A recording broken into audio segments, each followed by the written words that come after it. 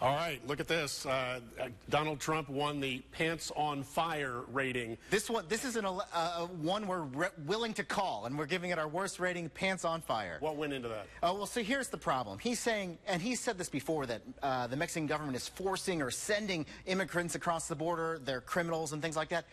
Every expert we talked to, and now we've talked to uh, many, I, uh, close to a dozen, and what they all say is that the immigration patterns are always really tied to the economy. And so the closest Donald Trump can say is that maybe Mexico's government isn't doing well for its workers, and so they're trying to come to America to find better work. But the most important thing is to know in the last four years, no net migration in from Mexico. So actually, the Mexican population is decreasing in the United States in the last four years. So Donald Trump's way off here. And he was asking for concrete proof, and he failed to turn that up. He well. never really answered that question. You bet. Okay.